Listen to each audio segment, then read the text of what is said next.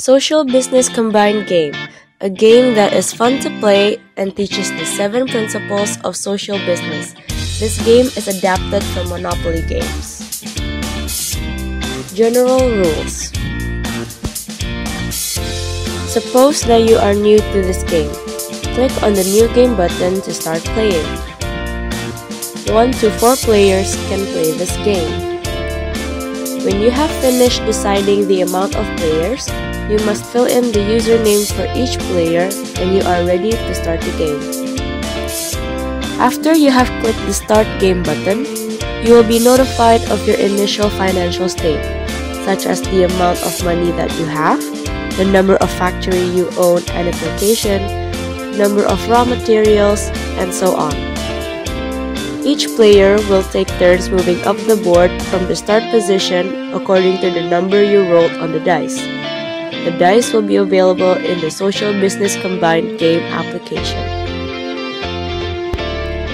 Introduction to Requirements There are two types of cards that will be used in this game. They are info cards and problem cards. Each card has information and a perk on it. To play this game, you will need a Social Business Combined game board. The board has 31 spaces that represent the days in a month and a start position. Here are the general rules for the board. When a player stops at the extra bonus position on the 14th day space, the player is considered to work overtime and is rewarded $2.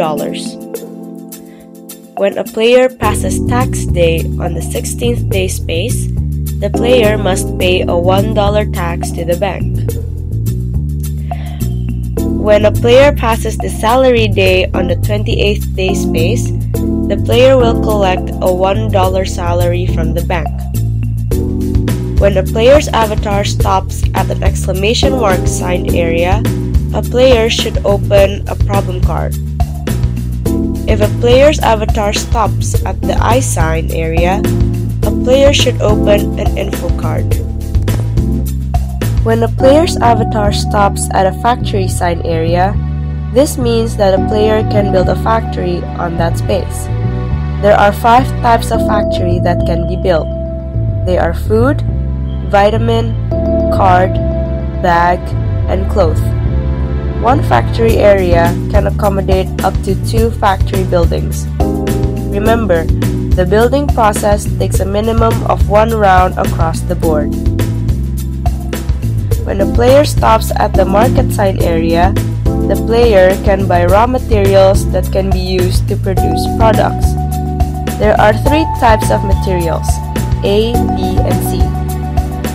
The total price of the materials will depend on the amount of materials bought. Remember, total price will automatically be deducted from the player's savings. Once the factory starts production, the number of raw materials owned will be deducted and the number of products will be added automatically. When a player's avatar stops at the customer sign area, this means that players can sell their product to a customer. Now that you have learned the general rules, Let's see the goals of this game. This game consists of 5 stages, with each stage having their own goals to be completed by each player.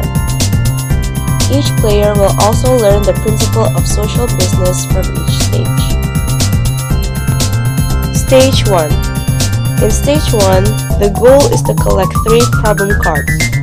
The conditions are player with 3 problem cards is a winner for Stage 1. The winner will receive a $3 reward from the bank. The game will continue to stage 2. The player can now buy a problem card from the bank at $10 each. Note that only 5 problem cards will be available to be bought until the end of the game.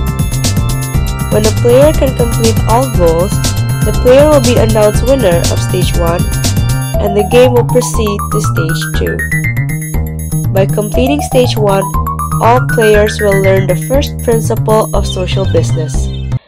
business objective will be to overcome poverty or one or more problems such as education, health, technology access, and environment which threaten people and society, not profit maximization.